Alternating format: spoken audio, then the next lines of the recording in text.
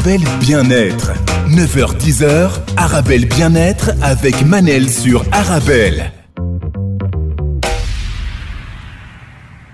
Les news qui annoncent une journée triste tout nette pour ce vendredi. Je suis pas d'accord. Il n'y a pas de journée triste nette. Contente de te retrouver. Bonjour à toi qui m'écoute là où tu es, c'est Manel. Je t'accompagne en direct chaque matin pour une heure de vitamines de 9 à 10 heures. Notre rendez-vous quotidien 100% bien-être est là pour te tirer vers le haut et t'aider à devenir une meilleure version de toi-même. Avec mes invités, chaque jour, on s'amuse, on apprend et surtout on pratique pour aller de l'avant. Un coucou à celles et ceux qui nous suivent sur le site Si vous voulez allier l'image au son, vous pouvez télécharger l'application Arabelle et nous regarder en direct. Vous pouvez aussi participer à l'émission en envoyant vos questions, vos réactions provisoirement via ma page Instagram Manel Astafid. Manel, c'est M-A-N-E-L, Astafid, c'est A-S-T-A-F-E-E-D. Aujourd'hui, je reçois Ehsan, formatrice en cosmétique naturelle, toute belle aujourd'hui, vêtue en mauve, magnifique. On va parler de cheveux. Quels sont les différents types de cheveux? On va comprendre d'abord les, les causes de chaque type de cheveux. Exemple, cheveux secs, cheveux gras, pour les personnes aussi qui ont des pellicules. Et il va nous proposer, Ehsan, des recettes naturelles, 100% naturelles à faire chez soi, à la maison. On se retrouve juste après la pause. Restez avec nous. Déjà, première question. euh, en annonçant le, le thème, c'est la, la kératine. On va parler de ça pendant l'émission, si vous permettez. Ehsan, Ehsan comment ça va? Ça va, je vais bien. La vie est belle. Oui, ça va. Et Ah, vous? Ça a été sur... Oui, très bien. Toujours bien. ça a été sur le chemin. Oui, ça a été. oui. Alors aujourd'hui, Ehsan, on va parler de cheveux. On va commencer par les cheveux gras. C'est le problème de beaucoup de personnes ou des cheveux qui regressent vite. C'est mon cas aussi, donc c'est un peu galère, on va dire. Ehsan, euh, qu'est-ce que déjà les cheveux gras? Oui, cela concerne une femme sur quatre, comme Ah, euh, vous venez même. de dire. Et les Le hommes aussi? Les hommes aussi, oui, bien sûr. Le cheveu est luisant, lourd. Et colle au crâne. euh, et dès le lendemain du shampoing, le cheveu est déjà gras. Ça, c'est un cheveu gras. Ça, c'est un cheveu gras. Un Et- cheveu et, gras. Une question. Des cheveux qui, qui regressent au bout de deux jours. Est-ce que c'est aussi des cheveux gras? Oui. Deuxième Oui. jour. D'accord. Vous à avez partir une idée? de, de deux, un, deux jours, c'est des cheveux gras. C'est des cheveux gras. D'accord. Donc, euh, les cheveux gras, euh, ils sont souvent causés par un dérèglement hormonal. Oui. C'est les glandes sébacées qui sont responsables du- des sécrétions du sébum. Euh, le sébum, c'est une substance grasse euh, qui assure la lubrification du cheveu et de sa protection. Donc, quand il y a un excès de sébum, on peut dire que c'est des cheveux gras. Oui. Quand on en a euh, de trop, ça graisse le cheveu. Donc, Alors déjà, ma première question, Ehsan, avant, avant de, de continuer, continuer les causes, euh, ces shampoings qu'on voit euh, à la télé, sur les réseaux sociaux, les, che- les, les shampoings secs, ça aide beaucoup. Mais est-ce que vous êtes pour ou contre? Les shampoings en poudre, Les shampoings secs en spray non, euh, ils sont déconseillés. On peut faire des shampoings secs nous-mêmes. Je peux donner tout à l'heure une recette. parfait. Notez-le bien, comme ça on l'oublie pas. Juste parce qu'ils contiennent de l'alcool et, et c'est pas, c'est pas bon pour les cheveux. Ah, d'accord, Ehsan. Donc, vous avez parlé de dérèglement hormonal qui cause une sécrétion excessive de sébum. Puis, quoi encore? Oui, c'est aussi un phénomène euh, d'origine génétique, Ah. mais aussi euh, dû au stress, la nervosité et aussi à l'alimentation. Quand on a une, une mauvaise alimentation riche euh, en gras, en graisse, des Le stress charcuteries, aussi euh, peut provoquer un... oui. Ah, le stress aussi peut provoquer euh, des cheveux gras. C'est périodique, hein, c'est pas, euh, c'est Oui. c'est pas un cheveu gras qui va durer, c'est juste le- la période du stress.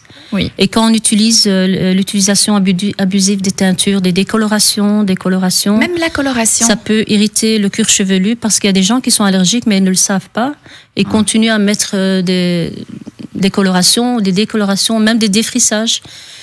C'est tout, tout ça en relation avec le cuir chevelu qui, qui est affecté, qui est irrité et irrité. qui peut causer. euh, Quand vous parlez d'alimentation, c'est plutôt l'alimentation grasse et sucrée. Hein. euh, grasse et sucré, oui. Oui. Le, le sucre, euh, il engendre plus. euh, Des le- problèmes de peau aussi. Le gras, les problèmes Oui. de peau et, et les pellicules aussi. On va en parler tout à l'heure. Il paraît aussi, Ehsan, que l'obésité aussi. Forcément, plus on a un excès de poids, plus on risque. Je parle de risque, hein, je parle pas de, je ne généralise pas. Et aussi le problème de foie, Ehsan. Ça, c'est oui, c'est en fonction de l'alimentation, comment on se nourrit. euh, si on mange des, des choses grasses, et des choses qui sont pas euh, Ah. euh, bonnes pour la santé, évidemment, le, le cheveu va réagir euh, direct. Et comme le corps, on peut avoir aussi des boutons. C'est- connu. Un choc émotionnel aussi, Ehsan. Les chocs émotionnels aussi Ah. peuvent provoquer des, des cheveux gras. Vous avez connu quelqu'un qui a commencé à avoir des problèmes de cheveux et de peau à, partir, enfin, quand il a eu des- un choc émotionnel? Euh, non, je n'ai. Je vous n'avez connu personne, comme non. ça. C'est- assez triste.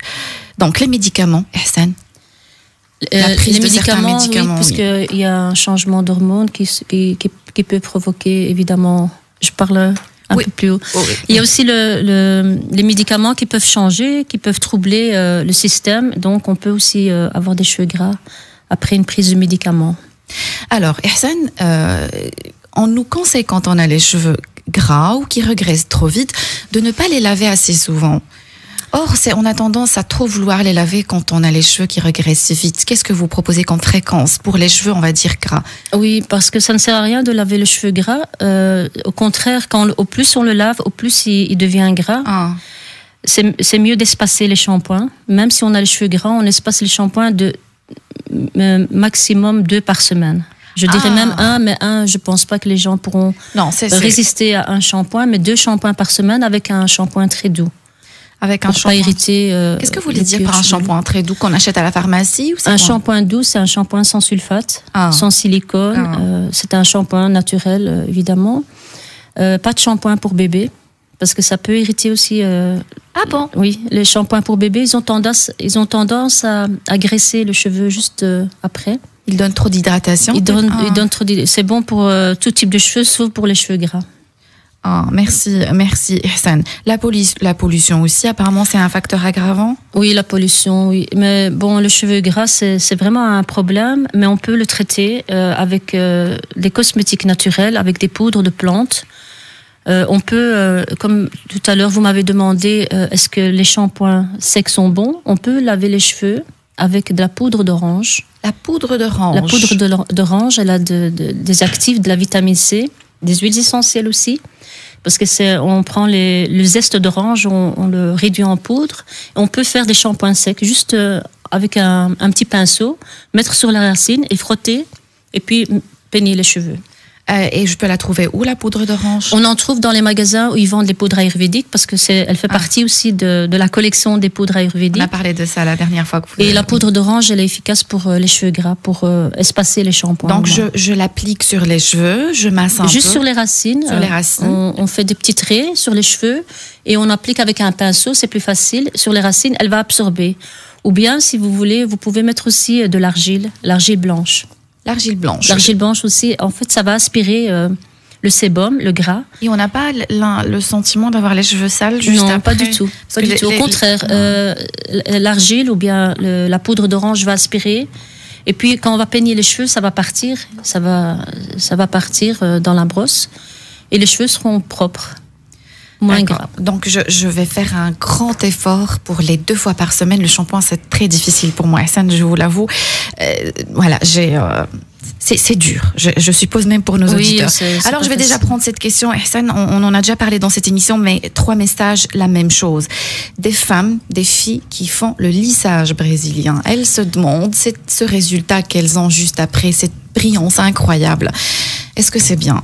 Non, le lissage brésilien, il est déconseillé euh, si on veut, euh, si on veut euh, entrer dans les cosmétiques naturels. Donc, le lissage brésilien, il, il donne une apparence d'un cheveu sain, mais c'est tout à fait faux parce qu'il va envelopper le cheveu avec une silicone, Oui. avec des produits euh, chimiques qui vont couvrir le cheveu, qui vont l'étirer et, et, et lui donner une brillance artificielle. Exactement, c'est ce qu'on voit sur les, les, les publicités, sur les réseaux sociaux. Oui. Une brillance incroyable. Oui, c'est est juste momentané. C'est juste, euh, on va dire, euh, une semaine. Et dès qu'on commence à se laver les cheveux avec du sulfate, euh, avec, euh, avec du sel, dans, dans les shampoings ils contiennent du sel, ça commence à partir et le cheveu change. Et on en devient accro aussi à cette brillance. On a, on Ben, a tendance à vouloir refaire pour On, on garder refait, cette- c'est un cercle vicieux. Donc, on refait chaque fois des lissages et les cheveux sont dans un état euh, pitoyable. Alors, Hassan, on dit euh, comment on nous vend le, le- le lissage brésilien comme un produit naturel, 100% oui, naturel. il y a beaucoup d'arguments. Oui. On, on a même dit botox qui veut rien dire. Euh, Je- Ah oui. Lissage au botox, c'est juste un argument marketing. Ah. Euh, euh, lissage, euh, il y a plein de, de- de mots que je, je m'en souviens même pas qui vont faire vendre le lissage. Il y en a, et j'ai même entendu lissage bio. Le lissage Le bio. lissage bio. Ah. Et donc, c'est aussi, c'est, donc, si je comprends bien, est-ce que c'est le lissage en lui-même avec ces, ces, euh, ces, étapes où on prend le fer et on, essaye de ouvrir les écailles des cheveux, mettre le, le la, kératine, lisser par un fer hyper chaud. Est-ce que c'est ça qui, qui abîme les cheveux ou c'est la kératine? C'est le produit même qui, qui, abîme parce que c'est un produit qui va juste euh, couvrir, comme je disais, donner de la brillance aux cheveux. Il va, il va euh, fermer les, écailles. Parce que c'est comme une couverture plastifiée, comme ça, on va dire, euh, comme une silicone, tout simplement. Et, et à, à l'apparence, le cheveu, il est beau, il est lisse, il est, il est bien, mais... Alors, tous ces produits, Ihsan, où c'est marqué à la kératine? Les shampoings à la kératine, les sérums C'est un, argument marketing ah. à kératine. La kératine, on en a, oui, on en a 80% euh, naturellement, mais on peut, on peut la trouver dans l'alimentation, la kératine. On peut la trouver dans ah. l'alimentation, dans les œufs. Euh, dans, dans, le poisson, il y a beaucoup de produits et même des, des, compléments alimentaires où il y a de la kératine. On peut les, les consommer pour avoir des beaux cheveux. Oui, hein, il y a beaucoup de choses euh, qu'on nous vend comme produits naturels. Or, un lissage brésilien, il suffit de voir la composition de, des produits et on se rend compte euh, trop vite que. Mais il y avait aussi du formol. Euh, voilà. Maintenant, je pense qu'ils l'ont interdit. Le formol est très dangereux, il est cancérigène. Ils l'ont remplacé comme par pour la hein. coiffeuse, comme pour la cliente. Donc. Oui, effectivement. Alors, Ihsan, on va parler des, du sèche-cheveux.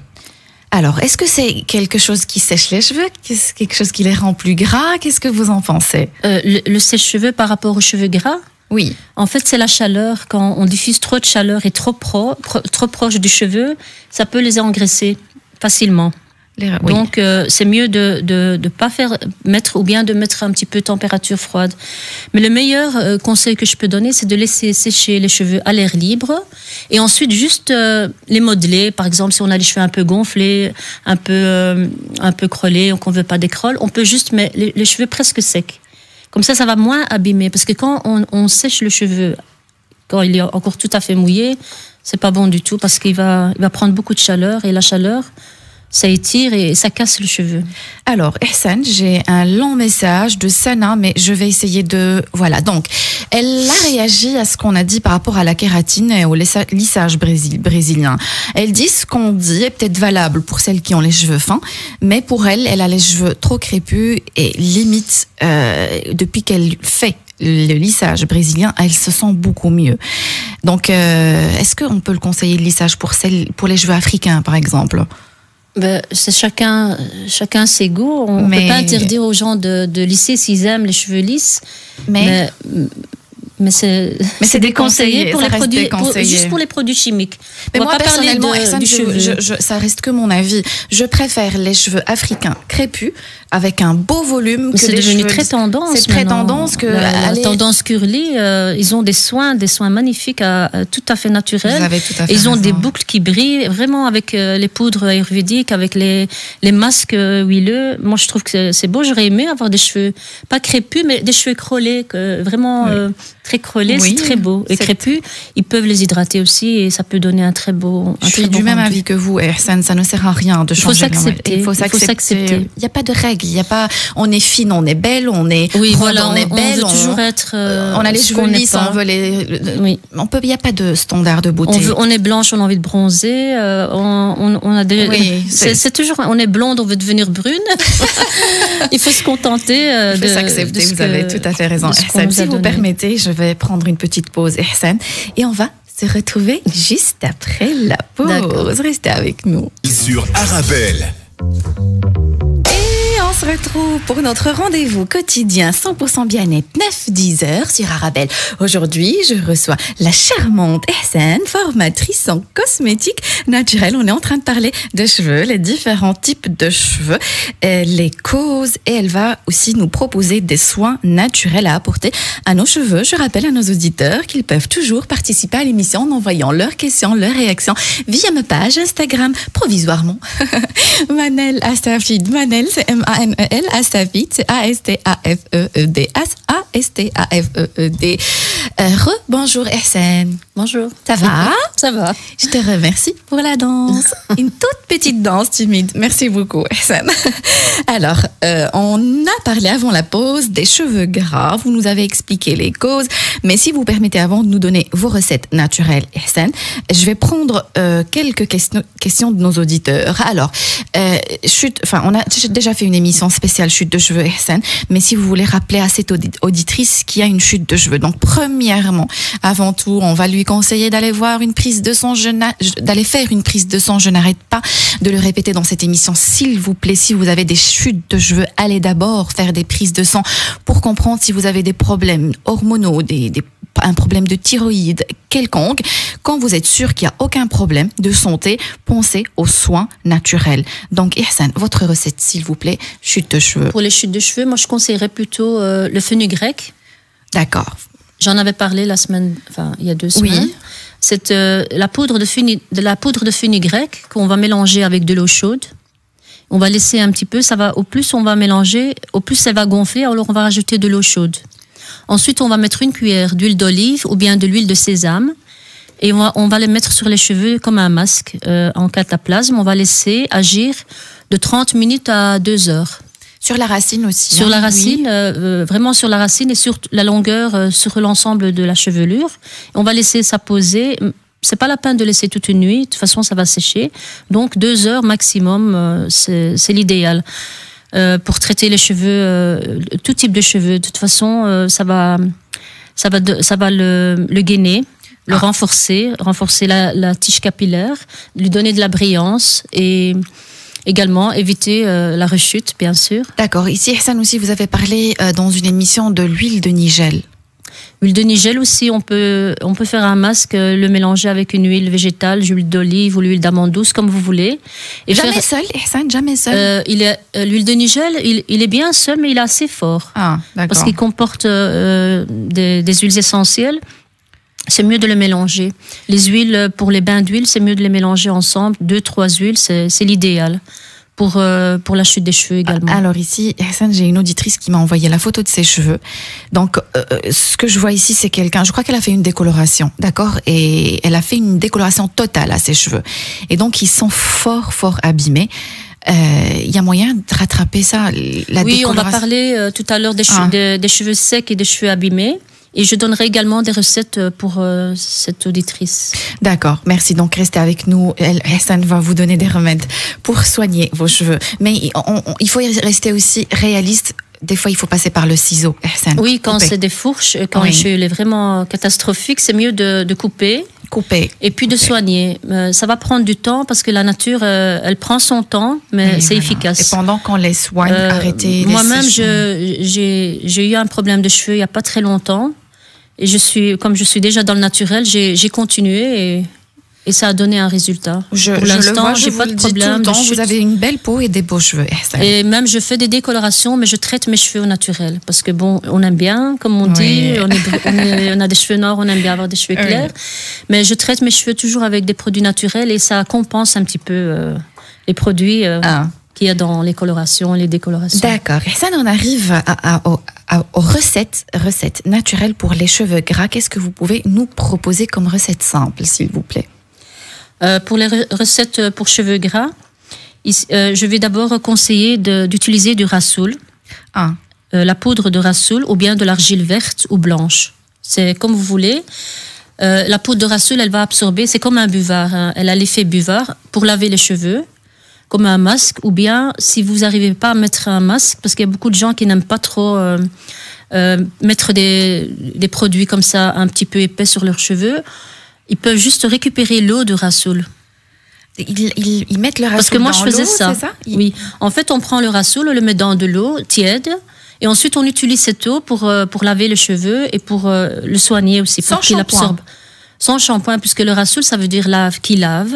Donc, euh, c'est un shampoing naturel.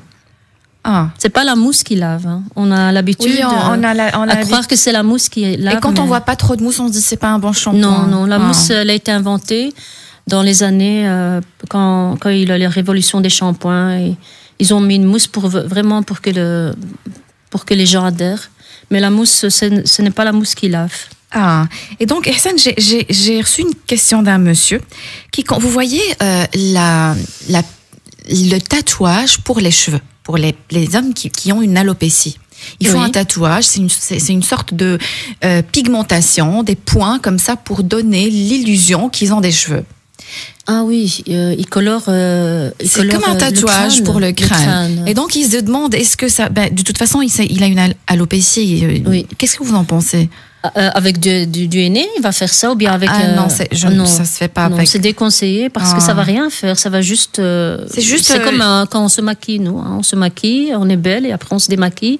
À la limite, si rien. c'est fait par des, des pigments naturels, c'est pas grave. Si c'est avec des pigments naturels comme du henné, oui, parce qu'il y a des henné maintenant, il y a des, des henné qui sont colorés. Il n'y a pas que le henné qu'on connaît, le, le rouge orangé. Il y a aussi des henné bruns, clairs. Mais Il, peut se permanent. renseigner et faire ça avec des produits naturels. C'est pas permanent. Hein.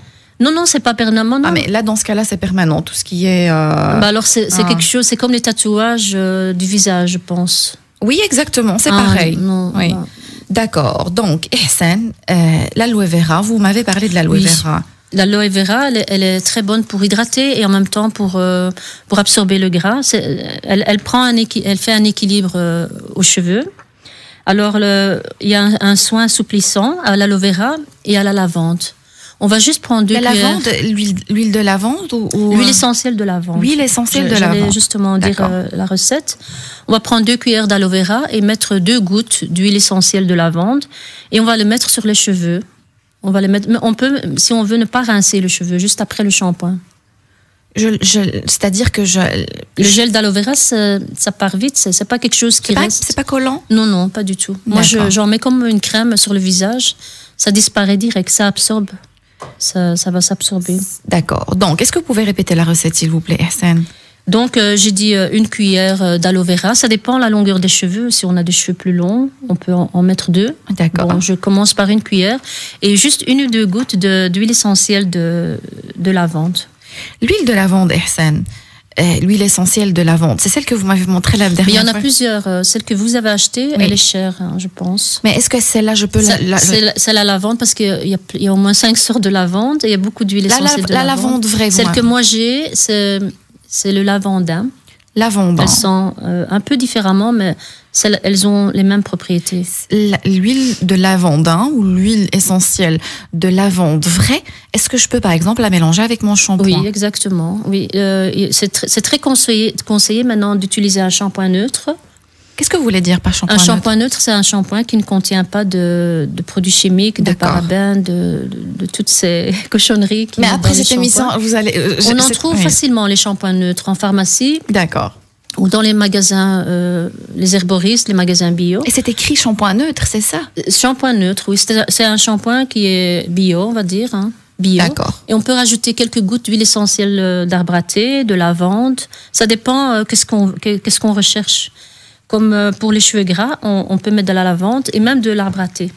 L'arbre à thé aussi. Il va, il, va, il va un petit peu guérir euh, le, le- le problème. Il va un petit peu euh, euh, ré- ré- trouver. Voilà, on va, il va un peu atténuer ce problème Voilà, de cheveux gras. problème. Donc, pas le citron, il- il- on le voit un peu partout dans les recettes, mais est-ce que vous le conseillez ou pas?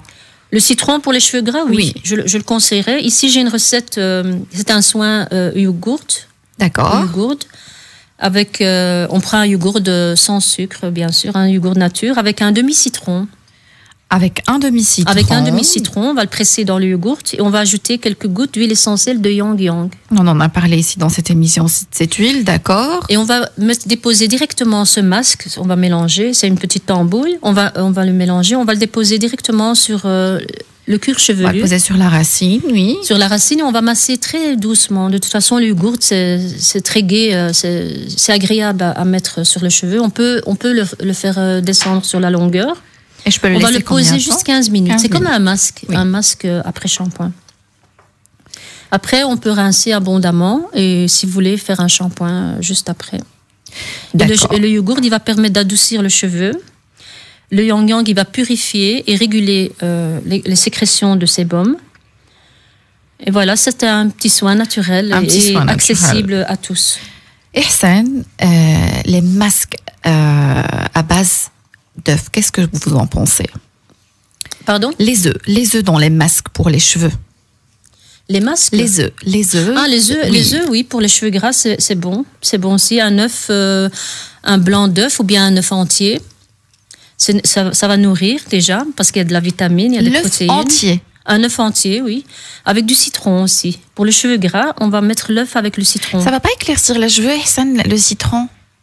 C'est juste un petit peu de citron, un demi-citron, euh, c'est pas grand-chose. Ou alors, on- oui, j'ai peur un peu que ça, ça éclaircisse pour celles qui veulent garder leur Non, couleur on va pas naturelle. aller s'exposer au soleil. euh, D'accord. On va juste faire un, petit- un petit masque 15 qui dure minutes, vous 15 avez dit, minutes. oui.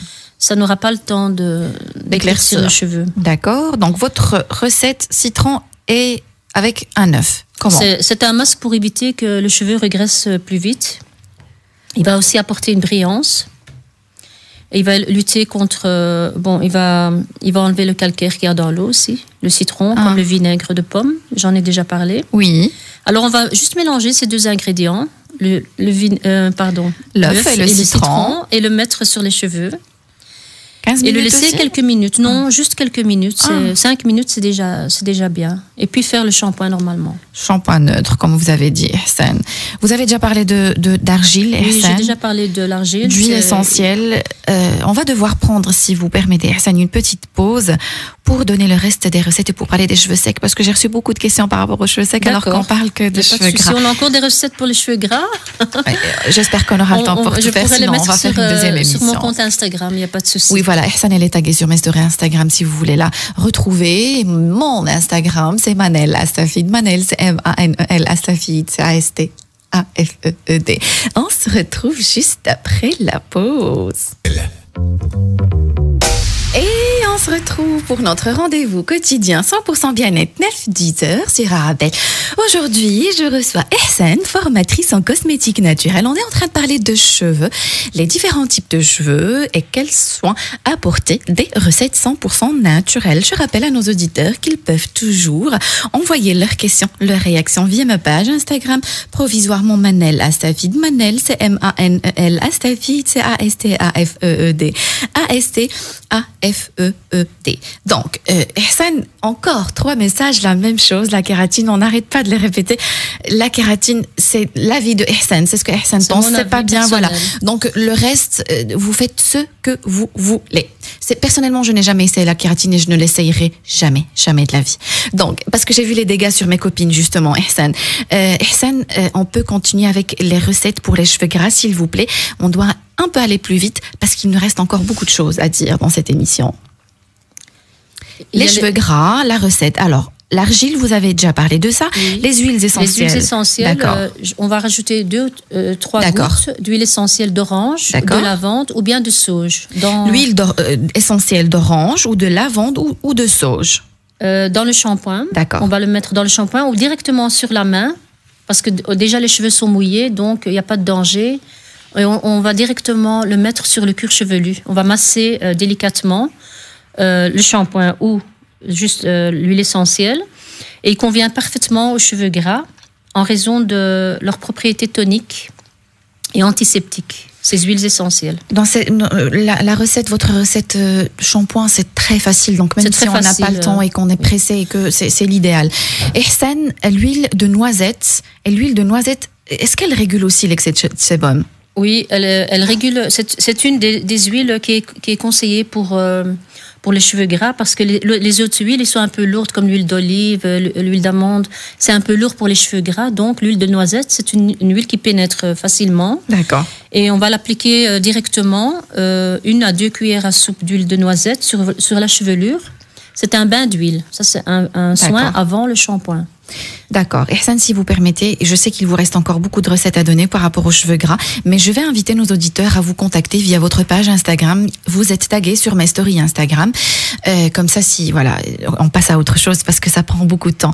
On va parler des cheveux secs. Est-ce que vous pouvez déjà nous expliquer ce que c'est un cheveu sec et pourquoi on a le cheveu, les cheveux secs?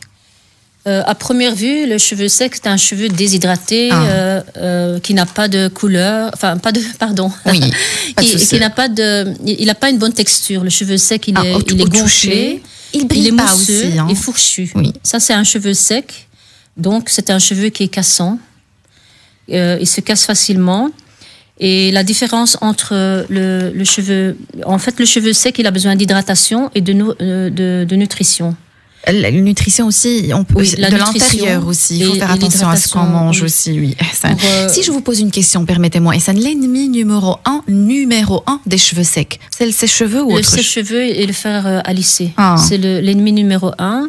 Et les shampoings, trop, euh, trop de mousse aussi. C'est pas bon pour les cheveux. Euh, trop de mousse, comme je disais tout à l'heure, la mousse, c'est pas très bon pour les cheveux. Tout ce qui est produit chimique. Déjà, hein. il faut en mettre juste sur la tête, pas sur les cheveux, la mousse, euh, le shampoing. Et essayer de mettre le moins possible. Parce que ça abîme les cheveux. Ça lave, oui, mais ça abîme aussi, euh, surtout les cheveux secs. D'accord, donc on revient toujours à la même chose. Mais c'est difficile de s'en passer des, de, de, de- du de, Parce qu'on a des habitudes, On en a fait, des on a des mauvaises habitudes euh, qu'on fait inconsciemment et qui, euh, qui répercutent sur nos cheveux des dégâts, co- comme des cheveux secs, des cheveux déshydratés, des cheveux cassants, fourchus aussi. Oui. Donc, euh, pour cela, on doit aussi euh, faire attention à la nutrition et à l'hydratation, c'est-à-dire boire et bien manger, c'est-à-dire euh, des, des produits comme l'avocat. La- L'avocat, Ah. euh, avec les vitamines qu'il y a dedans, c'est Oui. c'est bon pour les cheveux. Alors, euh, dans- par rapport aux cheveux euh, secs, les masser, ça les stimule encore plus et, et ça peut aussi stimuler la sécrétion du, so- du sébum. Donc, c'est bien. les cheveux masser- secs, on peut bien les masser, mais Oui. les cheveux gras, au contraire, il Voilà. faut aller en douceur avec. Très important. Euh, c'est aussi euh, la fréquence de lavage aussi les- de, de shampoing. La fréquence de lavage, oui, c'est déconseillé de se laver plus que deux fois par semaine, les cheveux. Les cheveux secs. Même Oh. si on, on croit qu'on a les cheveux sales, on peut juste les rincer. Et moi, ce que je peux vous conseiller, c'est de rincer les cheveux avec des plantes. Rien que du thé, du thé vert, c'est magnifique. Il est, il est plein d'antioxydants et pour de tout type laisser de cheveux, infuser et puis rincer. laissez le- infuser Ah. du thé vert et, le- et mettez-le à votre eau de rinçage dans un petit seau. Bon, on va pas le mettre. D'accord, Hassan, j'ai une question. Euh, euh, on, con- on déconseille tout le temps dans cette émission tout ce qui est produits chimiques pour les cheveux. Moi, ma question est, si par exemple j'utilise un n'importe quel shampoing que je vais aller acheter, pa- pardon, euh, après shampoing que je vais acheter dans les grandes surfaces, mais je l'applique pas sur la racine, uniquement sur les longueurs, les longueurs pour don- donner un peu de souplesse. Est-ce que c'est aussi déconseillé? Non, ce n'est pas pas- Si c'est, euh, si c'est, il faut absolument mettre un après-shampoing. Oui. Mais ça va pas agir comme quand on le met dans la racine, parce que la racine, elle va absorber, ça va rentrer dans. C'est comme une peau, hein, la, la peau du crâne, euh, euh, elle absorbe les produits chimiques. D'accord. Donc sur, sur les cheveux, ça va pas agresser euh, Oui. autant. D'accord. Hassan, votre recette naturelle, facile, si vous voulez bien, pour les cheveux secs et abîmés.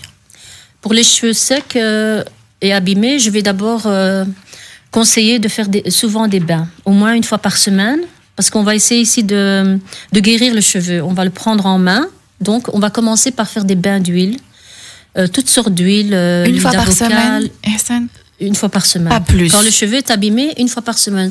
Si le cheveu n'est pas abîmé, comme quand on a des cheveux qu'on on voit qu'ils sont pas secs, qu'ils sont bien, une fois par mois c'est suffisant. Mais il faut, euh, il faut nourrir le cheveu. Là, j'ai le a réflexe de toucher mes cheveux. et le cheveu a faim aussi. D'accord. Le- le- votre bain d'huile, il est composé de quoi, Hassan Euh, le bain d'huile, on peut le faire juste. Je vais, je, je vais aller du plus, du plus simple euh, au plus compliqué. Juste l'huile d'olive. Ah, L'huile d'olive, c'est magnifique pour les cheveux. J'en ai mis toute ma vie et je le répète, et je le Oh. répéterai tout le temps. L'huile d'olive, il est accessible, on en a dans toutes les cuisines.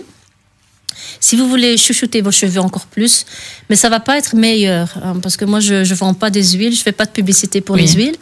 Vous pouvez utiliser euh, euh, de l'huile d'argan, oui, qui est L'huile très bon d'argan, aussi, de oui. l'huile d'amande douce. huile de Euh, figue de barbarie, à la maison. Pardon L'huile de figue de barbarie aussi. et l'huile de figue de barbarie, je le conseille plus pour la peau, parce qu'il est quand peau. même assez euh, onéreux. Donc, pour les Ah cheveux, oui, c'est pas, nécessaire. L'huile d'argan, il fait l'affaire. L'huile d'argan, il est très très bon pour les cheveux. Les cheveux secs. Il faut faire attention aussi à l'origine d'huile d'argan parce que on en voit partout. Et le plus grand producteur d'huile d'argan, c'est le Maroc. Et je Oui. pense pas qu'il y a assez pour une aussi grande quantité dans le monde entier. Il y a beaucoup de, de Oui, je vous écoute. Dans les cosmétiques conventionnels, on n'en met que très peu. On va pas en mettre euh, beaucoup. Quand je dis huile d'argan, c'est vraiment l'huile d'argan. Euh, vous allez acheter dans les, au Maroc, par exemple.